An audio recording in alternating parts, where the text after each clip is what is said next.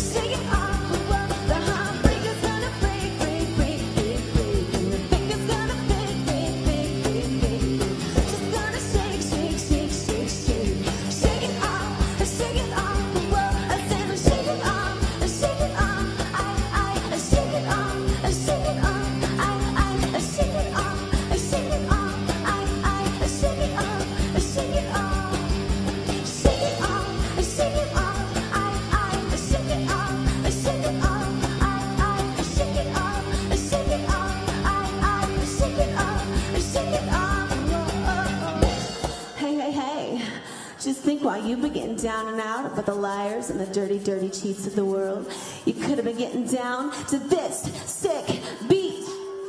My ex-man brought his new girlfriend. She's like, oh my God, I'm just gonna shake it to the fella over there with the hella good hair. Won't you come over, baby? We could shake, shake, shake.